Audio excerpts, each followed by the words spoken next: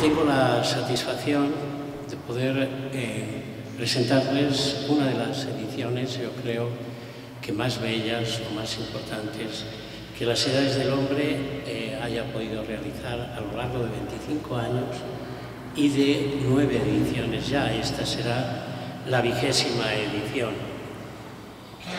Y es de verdad una verdadera satisfacción, aunque también es eh, un reto de complejidad, ¿no? En el poco tiempo, eh, aunque hablaremos también de eso, pero abordar la figura de, una mujer, de una santa, intentar actualizar su mensaje a través de las imágenes. Eh, la verdad que mm, es algo difícil, pero, algo que merece la pena y, y todo el conjunto de personas que estamos trabajando en este proyecto lo hemos tomado con, con muchísimo interés.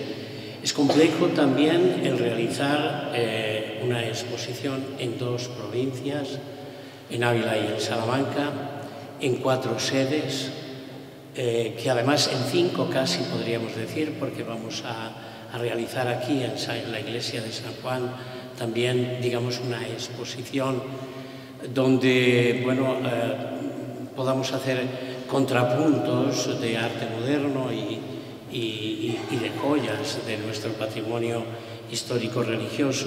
Precisamente en la iglesia se encuentra una de esas grandes joyas de todo nuestro patrimonio, que es el apostolado románico. ¿no? Eso es, bueno, pues trabajamos, trabajaremos también en esa... Pero sí quiero dejar muy claro que es una sola exposición con cuatro sedes y dos provincias. ¿no? Esto yo creo que todos lo tenemos que, que, que tener como, como muy claro. ¿no? Se, el, el recorrido partirá del convento de Gracia, convento en el que Santa Teresa pasaría un tiempo de su vida y, de que y del que saldría precisamente por enfermedad. Después la capilla Montserrubí, en la que se simboliza buena parte de los acontecimientos históricos coetáneos a la Santa. Es una capilla secular, es una capilla no solo porque sea bellísima en la arquitectura y, eh, sino sobre todo por todo, todo, toda la significación que tiene la iglesia de San Juan, donde es bautizada, y eh, por último eh, esta basílica, todavía no terminada, pero con la esperanza de que un día se pueda concluir. Es una bella arquitectura también. Aquí al ladito tenemos el convento de las madres, es decir, es algo que es un proyecto que entiendo que y también hemos querido que desde las edades, cuando elegimos esta sede, eh, queríamos también poner de manifiesto esto, ¿no? que bueno, es un proyecto que debe continuar, que, que debe de tener todavía un, una, una trayectoria y es una, insisto, de las razones por las que elegimos.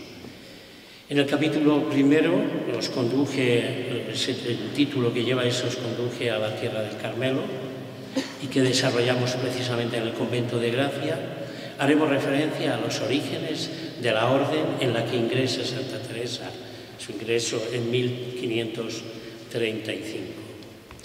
La capilla de Montserrubí la destinamos fundamentalmente al contexto histórico y también a esos primeros momentos en el que Santa Teresa eh, entra en, en la encarnación capítulo tercero es el capítulo, digamos, fundamental de toda la exposición, porque es el que además da título a la propia edición, Maestra de Oración.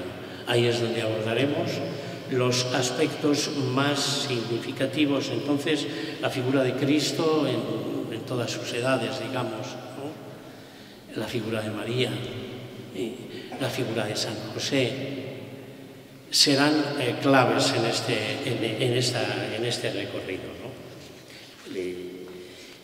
Y después eh, aquí, eh, en, en, Alba de Tormes, lo que haremos será desarrollar el capítulo que titulamos Hijas de la Iglesia y es un poco poner de manifiesto cómo eh, el Carmelo es algo vivo y es algo que se ha extendido, se ha extendido por todos los lugares como el Padre Antonio, ha tenido ocasión de, digamos, de, verificar. Yo hace muchos años, cuando empecé a hacer, eh, hace muchísimos años, una tesis doctoral en, en Edith Stein, y, y, me asombró ya desde que empecé a leer a esta, a esta carmelita, Santa, y la última Santa del Carmelo, ¿no? ¿O hay otra todavía? Eh, todavía, yo creo que se ha, después se ha canonizado. Sí, bueno, la que yo, la que yo al, menos, al menos conozco y que conocía muchísimo.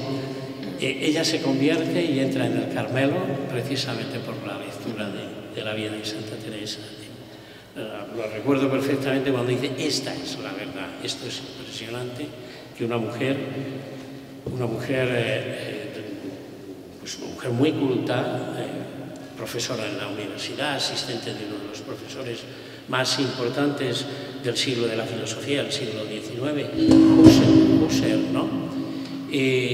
Bueno, pues tenga en sus manos el libro de la vida y diga, esta es la verdad, ¿no? y cambia toda, vida. Pues esto será lo que desarrollaremos aquí. Más de 200 obras formarán, por tanto, el conjunto de esta exposición. Obras, como ya ha mencionado el Padre Antonio, vienen eh, fundamentalmente de conventos de madres y padres carmelitas y en cuanto a la autoría, pues eh, prácticamente de, todos los autores más emblemáticos de, de, desde el 16 Zurbarán, Martínez Montañés, Salcillo, Juan de Juni, Alonso Cano, Lucas Jordán, eh, Rivera, Gregorio Fernández, Salvador Carmona, Goya, podríamos seguir y decir muchas más. Muchas de estas obras han necesitado y, siguen estando, y siguen necesitando, digamos, eh, restauración y aproximadamente de, del conjunto de las obras el 35% restauraremos, restauraremos al final de este, de este proceso. Ha sido más de un año de trabajo de un equipo dirigido por el secretario general de la Fundación y comisariado por Enrique Martín, que es el adjunto, al secretario general de la Fundación Las Edades del Hombre, por el padre Juan Dobado, padre carmelita, experto en arte, y de modo especial en patrimonio artístico carmelitano y del arte en general, porque es un apasionado, trabajar con él, la verdad que es una delicia. Y como es habitual también en cada edición de las Edades del Hombre, los delegados diocesanos tienen un papel importante, puesto que eh, ellos eh, ayudan, eh, si no en la configuración en este caso de lo que ha sido, de lo que será la exposición, si al menos después en su desarrollo. Al tratarse de dos diócesis, tendremos dos comisarios locales, eh, don Ramón Martín, que es el delegado de patrimonio de la diócesis de, Salamanca, y don Óscar Robledo, que es el delegado de patrimonio de la diócesis de Ávila. Eh, Oscar, eh, Robledo es, eh, ya está más iniciado en estos asuntos porque ya lo fue en, Credo y de alguna manera también en, en. ¿no? Bueno, tendremos también distintas eh, actividades que acompañarán, eh, digamos, lo que es el, conjunto y el cuerpo de esta exposición. El hecho de ser una, sola exposición, y permítanme que insista en este hecho, y nos ha llevado también a ofrecer un precio de entrada único para ambas ciudades que será de 5 euros.